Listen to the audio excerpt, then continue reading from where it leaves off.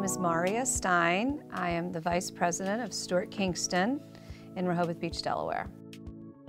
This auction is the estate of the former Robert G. Gallagher. The items included are his collection and the collection of his three wives.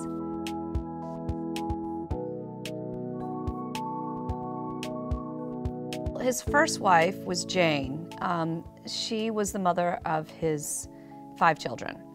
Uh, Jane was described to me as just a very lovely lady uh, and very much involved in her children's lives.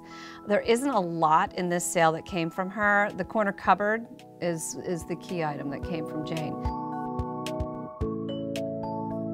The second wife, Bert, or Alberta, uh, she collected the finer things and she, she was from New York.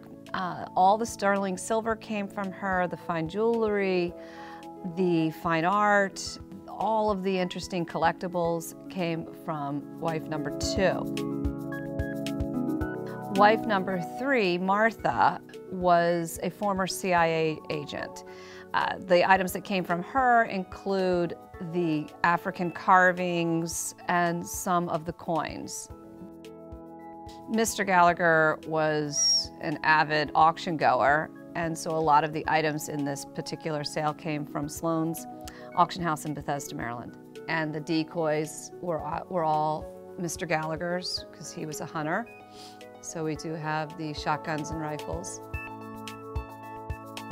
It's just interesting to go into someone's home and you, you see their life. And then you, you bring it to your auction house and you tell their story.